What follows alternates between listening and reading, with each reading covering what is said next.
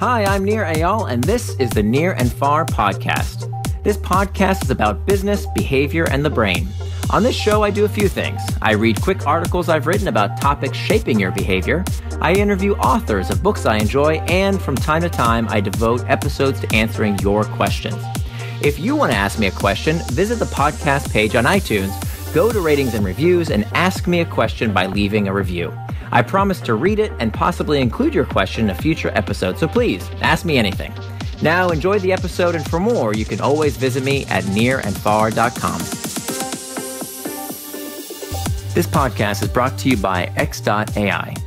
You know, a lot of times when you listen to a podcast, the host will recommend a product because they're the sponsors, and that's as simple as that. Well, I want to tell you about a product that I actually use. I've used it for about a, a year and a half now. It's called X.AI. X.AI is an artificial intelligence virtual assistant that will schedule your meetings for you. So every time I schedule a meeting, I don't play the email ping pong game back and forth. All I have to do is CC my virtual assistant at X.AI with a simple email address and the artificial intelligence will take care of the rest. It's a great product, highly recommended. And right now you can get one month free by going to x.ai backslash near and far. And you want to enter in the discount code near and far. Now remember, near is spelled like my first name, N-I-R. Check that out at x.ai backslash near and far. How two companies hooked customers on products they rarely use by Nir Eyal. Larry Page, CEO of Alphabet, the company formerly known as Google, has a quirky way of deciding which companies he likes. It's called the toothbrush test. According to the New York Times, when Page looks at a potential company to acquire, he wants to know if the product is, like a toothbrush, something you will use once or twice a day. Page clearly understands habits. As I wrote in my book, Hooked How to Build Habit Forming Products, frequently used products form sticky customer habits. But what if your product doesn't pass Page's toothbrush test? Perhaps you'd like people to use your product or service frequently, but it just doesn't make sense for them to do so. A few months ago, I was hired to present at a gathering of 700 real estate agents.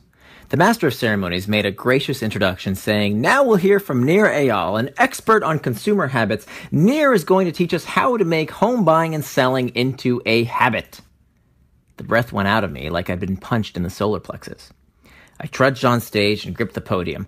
Uh, I'm sorry, I said. There must have been some kind of misunderstanding as I paused to catch my breath. There is no way that I am going to teach you how to make home buying and selling into a habit because it has no chance of ever becoming a habit.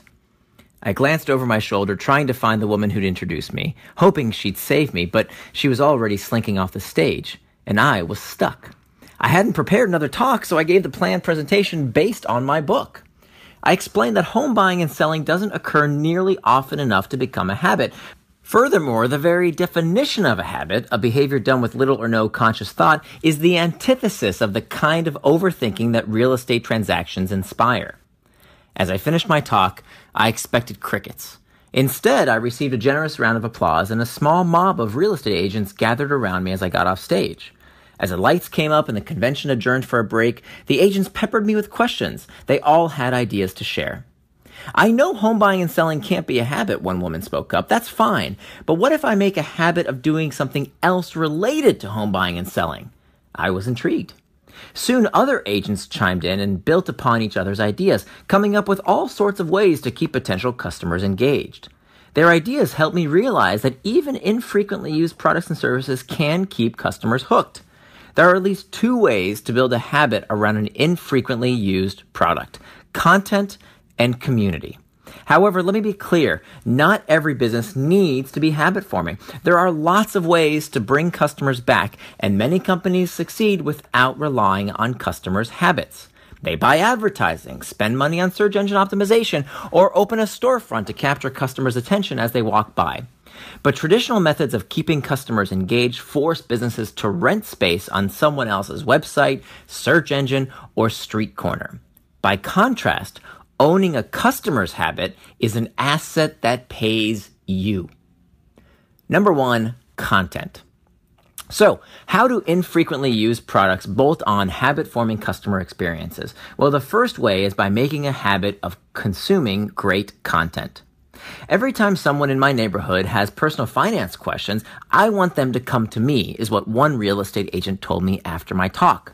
Her plan was to create a site and app full of articles, videos, and financial calculators to form a content habit with potential home buyers and sellers. What if I write new articles or post the ones I find online about topics I know people have on their minds? She asked. I nodded in agreement as she described building a site that would teach people to come to her for information that would help them make financial decisions. If she could build potential customers' habits of consulting her site, she could increase the odds of people transacting with her when the time came to buy or sell their homes. She had stumbled upon a tactic used by Y Combinator, a company the New York Times called quote Silicon Valley's startup machine. Y Combinator is in the business of finding promising young tech companies and helping them become the next Airbnb or Dropbox, both Y Combinator companies. Though Y Combinator has sealed its reputation at the top of its industry, it was once a newcomer competing for attention with traditional venture capital funds and angel investors. Even today, Y Combinator's success depends on finding the best founders, which means staying top of mind. But founders don't apply to Y Combinator frequently enough for it to be a habit. How does a startup accelerator stay connected to the tech community? The answer is content. Hacker News, a content aggregation site owned by Y Combinator, was visited 18.6 million times in July 2016. Hacker News went online in 2007, less than two years after Y Combinator's founding, and has been a fixture of Silicon Valley tech and culture ever since. Though it's not Y Combinator's core business, it has successfully drawn attention to the accelerator by forming a content consumption habit. The constantly changing list of articles has all the elements of a habit forming product I describe in my book. Users check the site daily between coding sessions or during breaks to find the latest industry news and happenings. As they browse, they accrue a reputation score for their contributions to the site. Though Hacker News is an autonomous unit, according to the company, it's clear the site is still an arm of Y Combinator. The top left corner of Hacker News features the Y Combinator logo as the home button, and a link at the bottom of the page invites visitors to, quote, apply to YC. But the hooks in Hacker News go even deeper. As TechCrunch reported, Hacker News has a strong affiliation with Y Combinator. Founders usually all create a Hacker News account when they apply, and that username is the founder's identity at Y Combinator. Recently, Y Combinator doubled down on its content strategy. In November, the accelerator launched The Macro, a content site featuring original writing by members of the Y Combinator team. Y Combinator has profited from the popularity of Hacker News. Despite the fact that Hacker News is not the primary way Y Combinator makes money, the content consumption habit fills the funnel with potential applicants and has become a valuable asset in its own right. Number two, community. Another way infrequently used products form a habit is by building a community. Let's say you've got a product people tend to buy uh, once a year, like Christmas ornaments. One might assume interest in such a product is nil for 11 months of the year. However, for members of Hallmark's Keepsake Ornament Club, engagement with and revenue from the seasonal product goes strong year round. The Keepsake Ornament Club, or KOC as members call it, is a surprising example of the power of community. Though the group is mostly unknown to outsiders, the KOC boasts more than 400 local chapters across the country. An industry research report claimed the club had 350,000 members back in 2001. A recent look at the club's official Facebook page showed photos of members queuing in long lines for a chance to meet with the artist behind some of their favorite ornaments. The people in the photos aren't wearing heavy coats to protect them from the December snow. No, no, no, they're wearing shorts. The Christmas theme event took place in the middle of August. Hallmark has cultivated a thriving community around its seasonal products, but the secret of the club's success is about more than the ornaments themselves. Local chapters of the KOC are organized by neighborhood Hallmark stores as well as a national organization, sort of like a Kiwanis Club for collectors. Similar to a civic group, many of the local affiliates organize frequent gatherings and social events. Linda, an employee of a Hallmark store in Pleasanton, California, who preferred I didn't use her last name, told me her store's club has 25 members and is considered small. Some clubs have hundreds of devotees. Still, Linda's group meets regularly, and members trade ornaments as well as banter via email. A privilege available exclusively to club members, Linda told me, was the chance to package new ornaments as they arrived at the store.